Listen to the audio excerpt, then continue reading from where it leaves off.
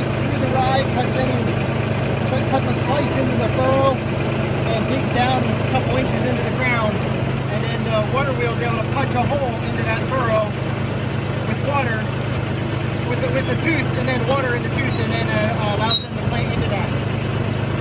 So I'll show you some photos from the back side there. But, uh, this is uh, no-till no-till planter in action. Feeds them something every three days.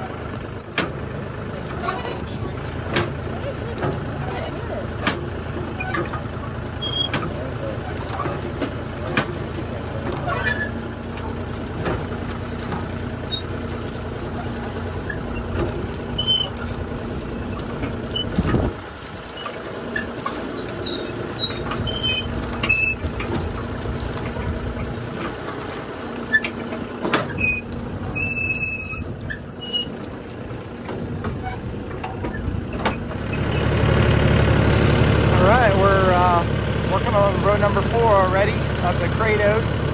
It's gonna take four and a half rows to get all. I have a thousand Kratos plants, um, roughly half an acre's worth.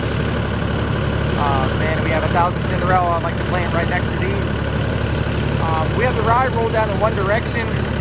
We always drive to the end and, and, and plant the same direction as we rolled the rye, mainly because it would uh, bind up one in my cutters, but two in the laps of the of the planter. So it, it ends up poking poking your legs and pulling up your pants and being annoying um, if you plant in the opposite direction. But it also bites your cutters a little bit more, uh, bind, binds things up a little bit more if you go the opposite way. So we always drive down the end of the field and keep going the same direction, and then ways up here, we sw I switched directions of, uh, while I was rolling. Probably did like two acres going the other direction because I was making my loops. Um, so when we do that, then we're gonna start playing the other way. Hop off here and show you a quick cutter and in here. Slicing through the rye. I got the hitch on the bottom side there. That'll give a little bit of down. Stay on the track here.